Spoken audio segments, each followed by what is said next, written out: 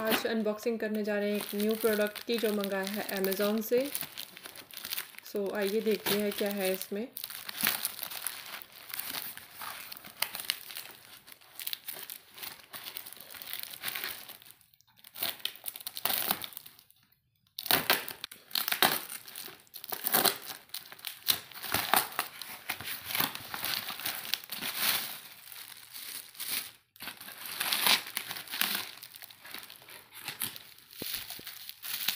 ये मंगवाए हैं स्टील के कंटेनर्स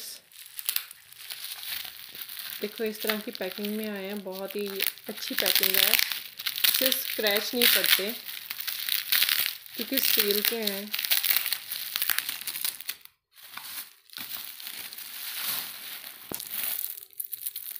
देखिए, एक और पैकिंग है, एक और पैकिंग में है। बहुत अच्छी। मैनुफैक्चरिंग बहुत अच्छी है।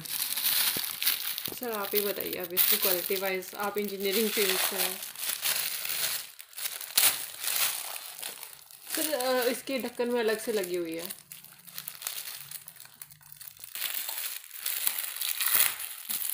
चमक तो इसकी बहुत ज़्यादा अच्छी है। कंटेनर के अंदर कंटेनर है, दो कंटेनर हैं। बहुत टाइम पहले मंगवाया था एक्चुअली इसकी अनबॉक्सिंग नहीं कर पाए थे तो मुझे इसका रेट का याद नहीं आ रहा है। इसका बिल होगा बीच में।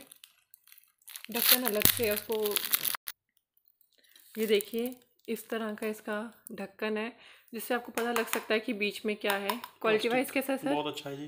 प्लास्टिक है या शीशा है? प्लास्टिक है प्लास्टिक। शीशे में प्ला शीशा नहीं है ये प्लास्टिक प्लास्टिक शीट लगी हुई है इसमें, पर है ट्रांसपेरेंट है, जिससे आपको पता चल जाएगा क्या है। मेरा मेन पर्पस था। देखिए सर कितने कंटेनर्स हैं इसमें।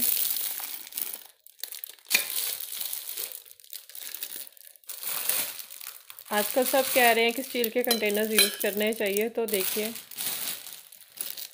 अलग अलग साइज़ के हैं।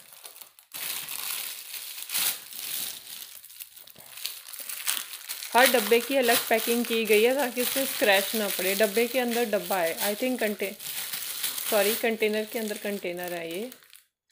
सबके ग्लास वाले देखो ढक्कन है देखना। देखने में कितने सुंदर लग रहे हैं देखिए। क्वालिटी स्टील है बट ऊपर ग्लास ट्रांसपेरेंट है जो प्लास्टिक शीट के हैं देखिए। बहुत ही अच्छी है अंदर से भी इसकी क्वालिटी देखो बहुत अच्छी है। स्टील है सर एक कोई खुला हुआ है। इसकी स्टील क्वालिटी अच्छी है थिकनेस अच्छी है। ये देखिए अंदर से भी स्टील है सारे एक एक जैसे हैं इसमें।